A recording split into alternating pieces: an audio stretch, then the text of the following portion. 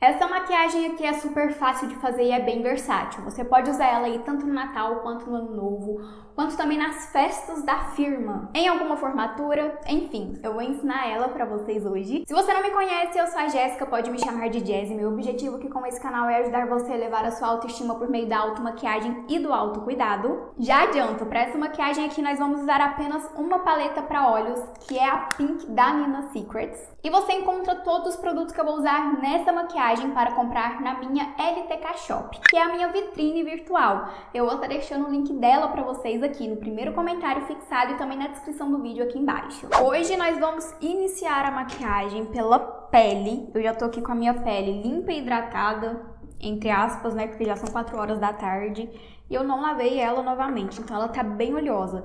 Para sua maquiagem ficar bem bonita na sua pele, é importante que ela esteja limpa, livre de oleosidade, tá? E hidratada também, mesmo se ela for uma pele oleosa. Eu vou aplicar aqui o Primer Blur Effect da Simple Organic, só para tampar os meus poros e deixar a minha pele um pouquinho mais lisinha.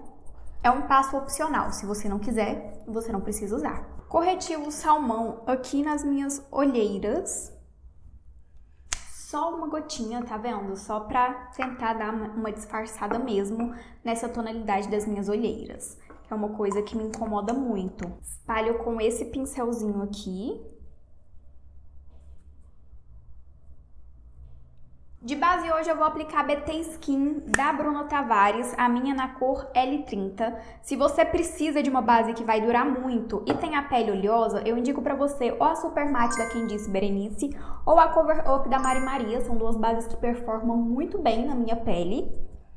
E aí, ó, eu gosto de aplicar e espalhar diretamente com a esponjinha, porque eu particularmente prefiro uma cobertura um pouquinho mais naturalzinha, sabe? Não gosto de cobertura muito carregada, não.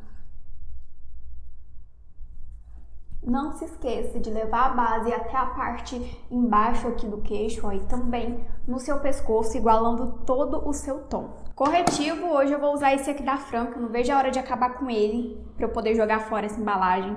Essa embalagem aqui é péssima. E esse daqui é meu corretivo de correção, então eu passo ele especialmente aqui nas olheiras para me ajudar a dar mais uma cobertura e também em qualquer outro lugar que eu tivesse com alguma manchinha um pouquinho mais aparente. Hoje eu não tô com nenhuma, então vai ser nas olheiras mesmo.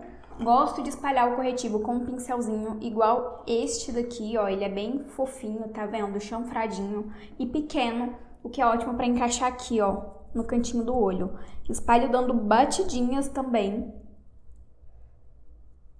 também da Fran eu vou usar aqui o pozinho solto para selar toda a minha pele. Antes de selar a pele, ó, eu dou batidinhas aqui só para tirar a marcação das minhas linhas finas que eu tenho abaixo dos olhos, tá? É batidinha bem de leve, gente. Hoje eu vou aplicar diretamente com um pincel de pó aqui no meu rosto, selando toda essa base, todos esses produtos que nós aplicamos aqui.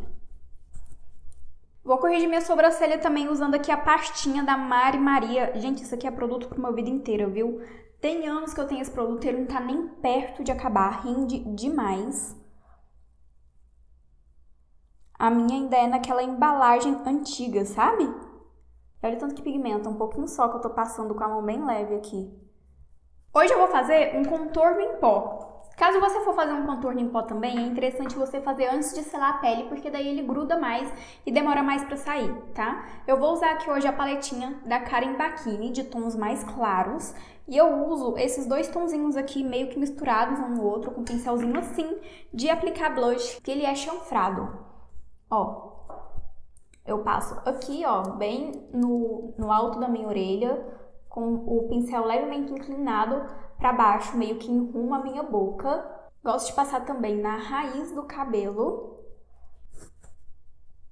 Como a pele já tá selada, ó, eu vou aplicando ele nesse movimento aqui para ir já esfumando também. De blush hoje eu vou usar esse daqui da Nina Secrets, mas ele fica um rosinha lindo quando aplicado na pele. E ele é cremoso. Eu gosto muito dessa pegada de blush cremoso. Eu acho que fica menos carregado e mais natural, sabe? Então eu aplico dando batidinhas aqui, ó. Por cima do contorno, tá vendo? Aqui na maçã do rosto. E iluminador hoje eu vou usar uma mistura desses dois aqui da paletinha da Karen Bakini também. na pontinha do nariz. Gente, esse produto aqui é magnífico. Aqui, bem no ossinho que a gente tem aqui, ó. E aí aqui o segredo é você ilustrando ele fazendo movimentos circulares. Porque daí ele vai aparentar mais, sabe?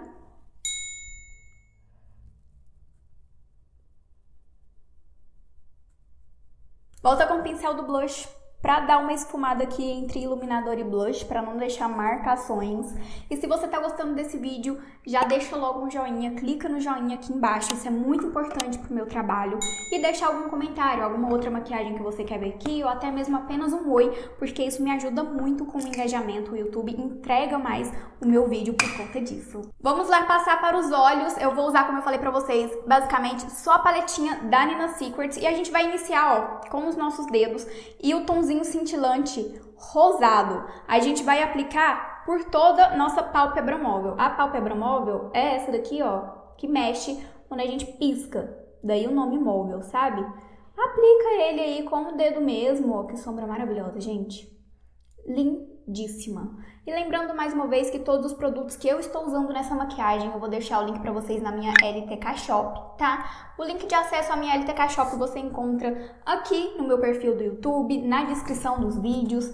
E quando você compra pela minha LTK Shop, eu ganho uma pequena porcentagem na compra de vocês e isso apoia muito o meu trabalho. Pincelzinho de aplicar sombras, a gente vai pegar agora, ó, essa sombrinha aqui mais clara para fazer um detalhe no canto interno, a gente vai aplicar, então, ó, dessa forma aqui.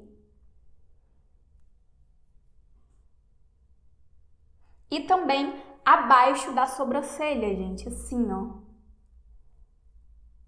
Agora com o pincel gordinho desse daqui de esfumar, a gente vai pegar o marronzinho mais claro aqui da paleta Sim, a gente aplicou a sombra cintilante primeiro e depois vai fazer apenas um leve esfumado, marcando apenas o côncavo aqui em cima, gente. Então, ó, dá umas batidinhas aqui para aplicar a sombra.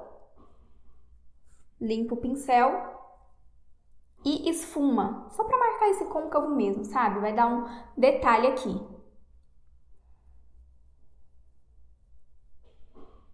E aí já segue a dica que eu sempre dou para vocês. Fez um olho, já faz o passo a passo no outro para você não se perder e deixar os dois o máximo parecido possível.